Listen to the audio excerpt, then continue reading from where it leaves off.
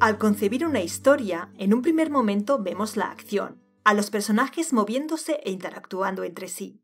Por eso se suele idear la obra en términos de escenas, como una serie no interrumpida de ellas en las que a menudo hay diálogo. Sin embargo, una buena novela no se compone únicamente de escenas. La escena es solo un recurso narrativo, únicamente una herramienta más de las muchas que el escritor posee en su panoplia de técnicas. También te he hablado ya en otro episodio de por qué no conviene abusar de los diálogos.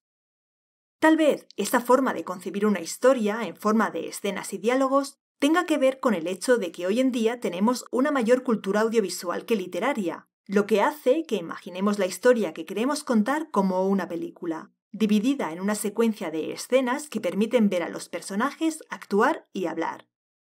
Sin embargo, la narrativa tiene una herramienta poderosa que permite ligar las escenas entre sí para darles conexión, causalidad y reforzar la cronología, la narración. Bueno, disculpadme, me he lanzado ya a fondo sobre el tema del episodio de hoy y todavía no me he presentado a aquellos que quizá escuchan hoy por primera vez Madera de Escritor. Los asiduos me tenéis ya muy conocida. Soy Natalia Martínez y soy profesora de novela y asesora literaria en sinjania.com. Como siempre, os invito a pasaros por la web y descubrir nuestro blog. Si buscas información sobre temas de creación literaria, sobre el personaje, el conflicto, los diálogos, tratada con seriedad y rigor, en el blog la vas a encontrar. Quizá peco de inmodestia al decir que es uno de los mejores blogs sobre creación literaria en español, pero me atrevo a decirlo. Y ahora vayamos con el tema que nos ocupa y por el que le has dado al play, la narración. He comenzado diciendo que la narración es la herramienta que permite ligar las escenas entre sí para darles conexión, causalidad y reforzar la cronología. Pero además, la narración contribuye a crear atmósferas y ambientes y permite conocer mucho mejor a los personajes, porque a través de su discurso el narrador puede penetrar dentro de sus mentes para mostrar sus reflexiones y sus sentimientos. En resumen, la narración es el hilo conductor de la historia y casi se podría decir que su esencia. Pero en ella, además, se refugia la mejor literatura. Si sientes que a tus historias les falta algo, tal vez lo que les falte es narración. Hay diferentes modos de usar la narración, Vamos a repasar algunos para que sepas cómo puedes aplicarla en tus obras. Comenzaremos hablando de la narración descriptiva. Seguro que al pensar en narración se te ha venido de inmediato a la cabeza la descripción. En efecto, la descripción es una de las formas que puede tomar la narración, pero no la única, como enseguida veremos. La narración descriptiva permite crear imágenes que ayudan al lector a representarse tanto a los personajes como los espacios por los que estos se mueven. La descripción de personajes suele entenderse como la forma de decirle al lector cómo es el aspecto físico de estos. Son altos o bajos, rubios o morenos. Pero una descripción puede decir sobre un personaje mucho más que cómo es su aspecto físico. Bien usada, puede hablarnos sobre su estrato social, sus costumbres e incluso su carácter. Pero también la descripción de una estancia, una calle o un paraje natural puede decir mucho más de lo aparente, contribuyendo a crear sensaciones y emociones en el lector. Y no olvides que esa puede ser una manera de atrapar al lector tan efectiva como los puntos de giro inesperados y las sorpresas. Recurramos al genial Dickens para comprobarlo. Hay dos autores que os recomiendo porque, leídos con atención, sobre todo si se tienen ya ciertos conocimientos sobre narratología, son una verdadera mina de ejemplos sobre el uso excelente de mil y un recursos literarios. Uno es Dickens y otro es Galdós, nuestro don Benito. Examinemos ahora un extracto de La Casa Lúgubre, en el que se describe la caída de la noche en Tom completamente solo. Tom, completamente solo, es el curioso nombre que Dickens da a una calle sombría y negra cuyas casas amenazan ruina. Las tinieblas envuelven Tom completamente solo y, haciéndose más espesas por momentos, desde que el sol camina hacia su ocaso, han acabado por invadirlo todo. En las buhardillas brillan algunas luces que poco a poco se han ido extinguiendo como la llama de la vida en medio de aquel aire infecto, prestando sus últimos y siniestros resplandores a miserables seres. La luna ha dirigido su mirada macilenta y fría sobre aquel montón de inmundas ruinas, pero se ha ocultado luego. Todo yace en sombra, y Tom, completamente solo, profundamente dormido, permanece inmóvil bajo el peso de la más espantosa pesadilla que haya salido del infierno. Como ves, Dickens no se limita a describir que el sol se pone y los vecinos de la calle apagan sus luces.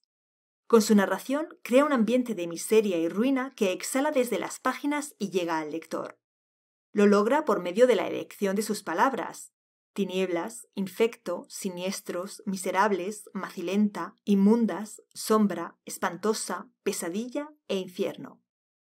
Pero también las imágenes contribuyen a crear ese ambiente de indigencia y desesperación. Las luces se extinguen como la llama de la vida, porque en ese inhóspito paraje ésta parece no poder existir.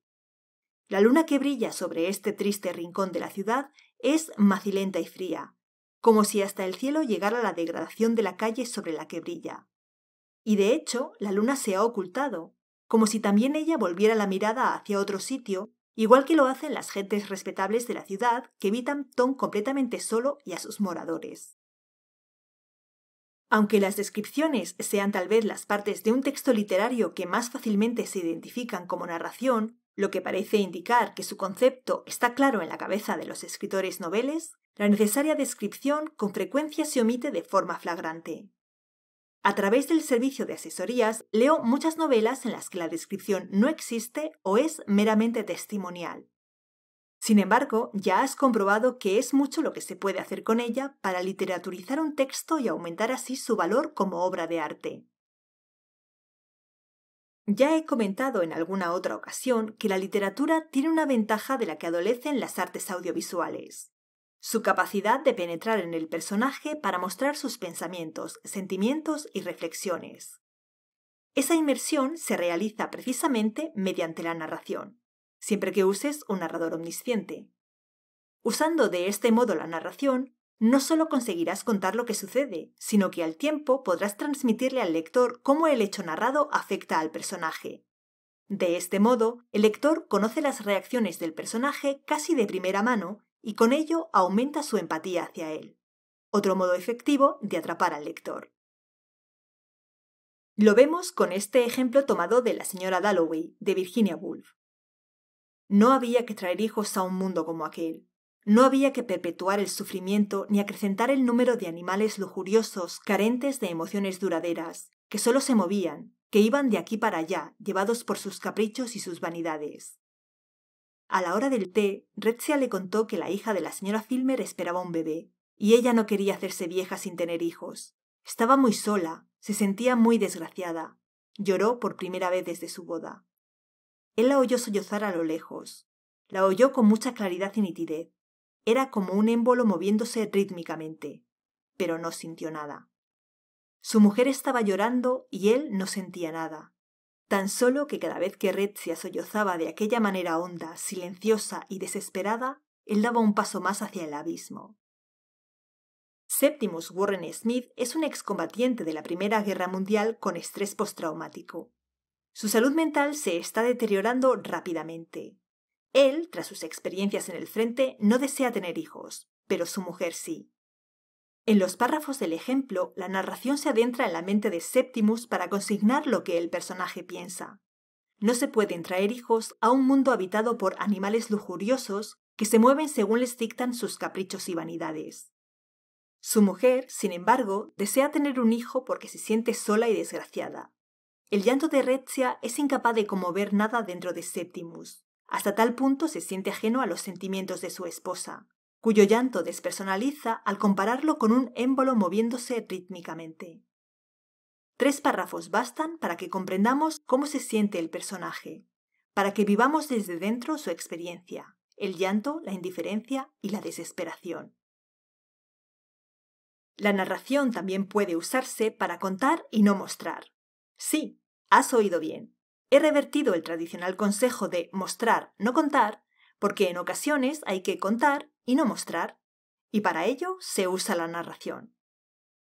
Claro que hay determinadas partes de la historia que deben ser mostradas para que el lector se las represente de manera fidedigna y detallada. En esos casos sí conviene crear escenas. Hay ya un episodio en el que te explico el conocido adagio de mostrar, no contar. Búscalo si te interesa el tema. Pero hay otros momentos en los que, por el contrario, conviene presentar determinada información a través del discurso del narrador, bien porque sea una información de menor relevancia, bien porque precisa ser resumida para no alargarse innecesariamente al proporcionarla. Lo vemos también con un ejemplo, este tomado de La Casa de la Alegría. En la novela, Edith Wharton usa la narración para presentar la infancia y adolescencia de Lily, la protagonista. La vida continuó desarrollándose conforme a esta pauta errática y agitada durante toda la adolescencia de Lily, una sinuosa y rápida corriente por la que la embarcación familiar se deslizaba entre diversiones, remolcada por una corriente subterránea de perpetua necesidad, la de obtener más dinero. Lily no podía recordar una época en que el dinero fuera suficiente, y de un modo vago su padre siempre parecía tener la culpa de tal deficiencia. No podía ser ciertamente culpa de la señora Bart, quien según sus amigas era una excelente administradora, famosa por el ilimitado efecto conseguido con medios limitados.